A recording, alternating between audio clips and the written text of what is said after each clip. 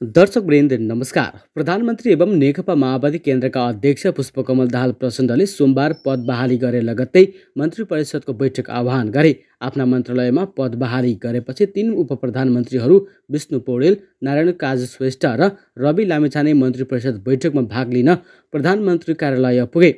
मन्त्रालयको जिम्मेवारी तोक्न बाँकी रहेका मन्त्रीहरू समेत मन्त्री परिषदको बैठकमा सहभागी थिए। प्रधानमन्त्री भएपछि प्रचण्डले मन्त्री परिषदको बैठक बोलाएका हुन्। बैठक सुरु भएपछि प्रधानमन्त्री प्रचण्डले उप प्रधान तथा गृहमन्त्री रवि लामिछानेलाई तत्कालका लागि सरकारको प्रवक्ता बन्न भनेका थिए।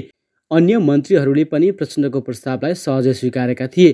तर गृहमन्त्री लामिछानेले सरकारको प्रवक्ता बने प्रधानमन्त्री प्रचण्डको प्रस्ताव अस्वीकार गरेका थिए। बैठकमा केही असहजता देखिएको थियो। प्रधानमन्त्री प्रचण्डले दिन लागेको जिम्मेवारी रविले स्वीकार गरेनन्। प्रधानमन्त्रीज्यूले मैले गरेको निर्णय हो। सूचना र सञ्चार प्रविधि मन्त्री नियुक्त नभएसम्म तत्कालका लागि रविजीले सरकारको प्रवक्ता बनिदिनुहोस् भन्नुभएको थियो। तर गृहमन्त्रीज्यूले मान्नु भएन।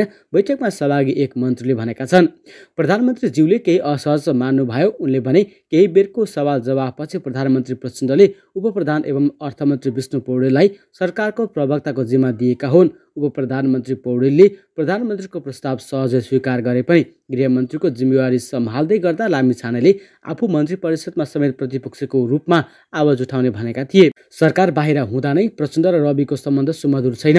एकले अर्काको कडा आलोचना गर्दै आएका छन्। हाल रविको नागरिकता विवाद सर्वोच्च अदालतमा विचाराधीन छ।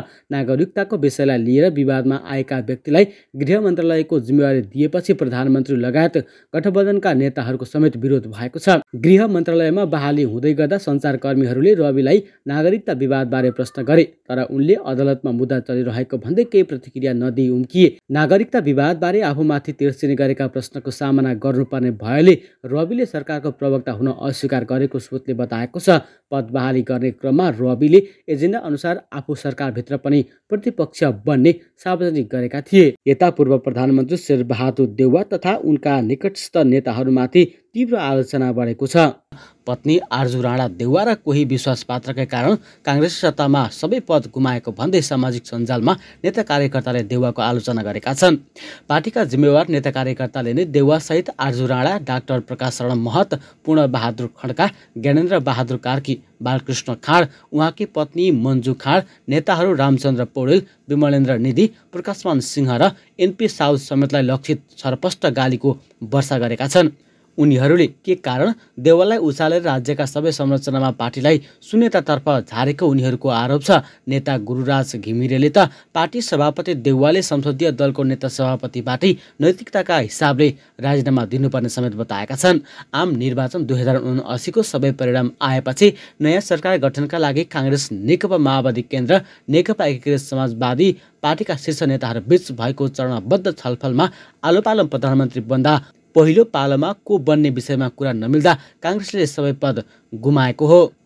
यता विभिन्न तीन दल तत्काल प्रचण्ड नेतृत्वको सरकारमा सहभागी नहुने बताएका छन्। जनता समाजवादी पार्टी नेपाल जसपा राष्ट्रिय स्वतन्त्र पार्टी राप्रपा र नागरिक उन्मुक्ति पार्टी तत्काल सरकारमा नजाने भएका हुन्। सात दलको समर्थन प्राप्त गरेका माओवादी केन्द्रका अध्यक्ष प्रचण्डले सोमबार प्रधानमन्त्री पदको शपथ लिँदा नेकपा एमाले माओवादी केन्द्र राष्ट्रिय स्वतन्त्र पार्टी जनमत पार्टीबाट जारी कुल सातजना मन्त्रीले पनि शपथ लिएका थिए। तर राप्रपा जसपा र नागरिक उन्मुक्तिबाट भने तत्काल सरकारमा सहभागी नहुने प्रतिक्रिया आएको हो।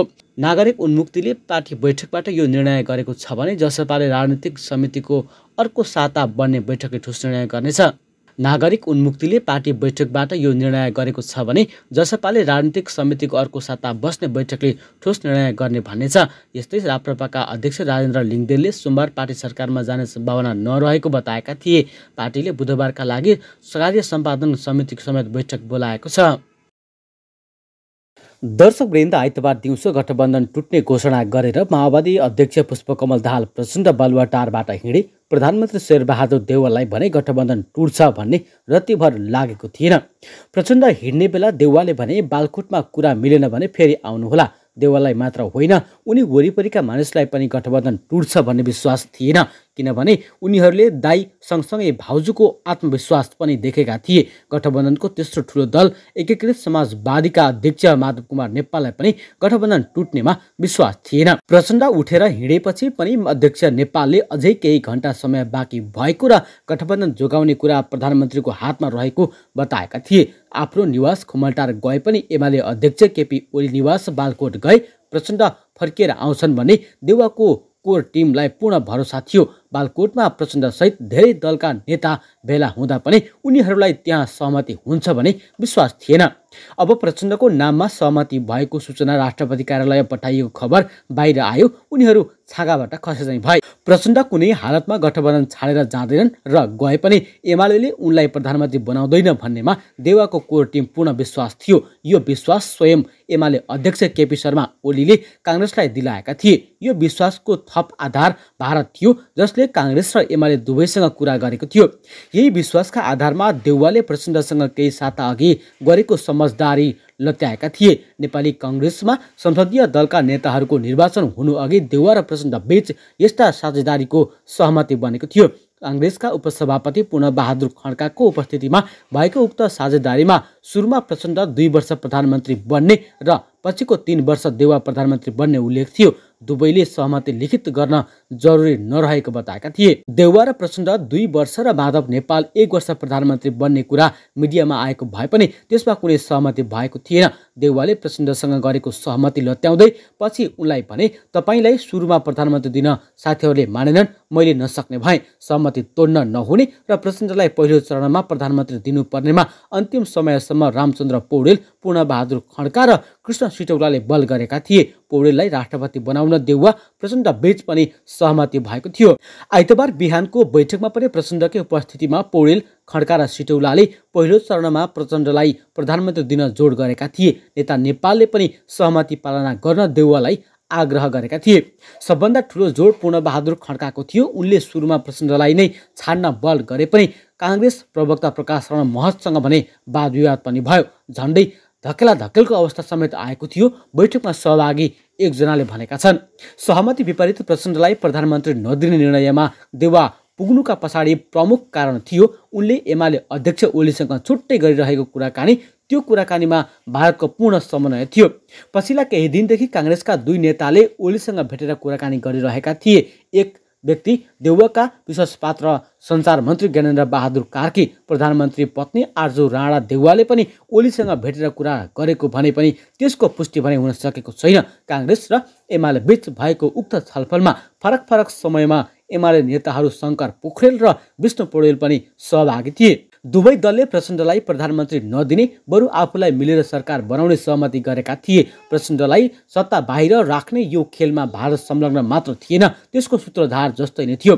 यसरी प्रचण्डलाई सत्ता बाहिर राख्न भारतले प्रयत्न गरेको पहिलो पटक होइन। केपी ओलीले संसद विघटन गरेपछि काङ्ग्रेस माओवादी केन्द्र एकीकृत समाजवादी र जनता समाजवादी पार्टी मिलेर सरकार नबनाऊ भनेर भारतले ठुलो प्रयत्न गरेको थियो। ओलीको नेतृत्वमा चुनावमा गए एमाले र काङ्ग्रेस दुई शक्तिको मात्र नेपाली राजनीतिमा वर्चस्व कायम हुने र माओवादी केन्द्र खुम्चिँदै जाने भएको विश्लेषण थियो। माओवादी केन्द्रका अध्यक्ष प्रचण्ड र जनता समाजवादी पार्टीका अध्यक्ष उपेन्द्र यादवप्रति भारतको लामो समयदेखि वक्र दृष्टि छ। आइतबार बाह्र बजेपछि ओली र देउवा बीच मिलेर जानेबारे अन्तिम सहमतिको फोन वार्ता भएको थियो। एमाले नेताहरूसहित ओली साढे तिन बजे बालुवाटार आउने र संविधानको धारा छयत्तर दुई अनुसारको सरकार बनाउने सहमति दुई दल बीच भएको थियो। त्यही सहभागिताको बलमा देउवा प्रचण्डलाई पहिलो चरणमा प्रधानमन्त्री दिनबाट पछि हटेका थिए। प्रचण्ड बाह्र पैँतालिस बजेतिर काठमाडौँको औचित्य सकिएको भन्दै बाहिरिए आफूलाई पहिलो चरणमा प्रधानमन्त्री दिन प्रयत्न गरेका काङ्ग्रेस उपसभापति खड्कालाई जाने बेला प्रचण्डले भने तपाईँले धेरै प्रयत्न गर्नुभयो सक्नु भएन यसपालि यस्तै भयो फेरि पछि अर्को परिस्थितिमा कुरा गरौँला प्रचण्डलाई काङ्ग्रेस र एमाले बीच भएको कुराको कुनै पनि भ्यू थिएन। काङ्ग्रेसले पाँच बजेसम्म समय घर्काएर छयत्तर तिन अनुसार अल्पमतको सरकार बनाउन खोजेको अनुमान उनले गरेका थिए। यसरी सरकार बनाएपछि आफूलाई लतारेर सरकारमा लैजाने काङ्ग्रेसको रणनीति भएको उनको आशंका थियो। गठबन्धन छाडेर आए आफूहरू मिलेर सरकारमा बनाउन र जान तयार रहेको वचन ओलीले माओवादी नेता मार्फत प्रचण्डलाई दिइसकेका थिए। उनी बालकोटमै शङ्कर पोखरेल र विष्णु पौडेलसँग कुरेर बसेका थिए।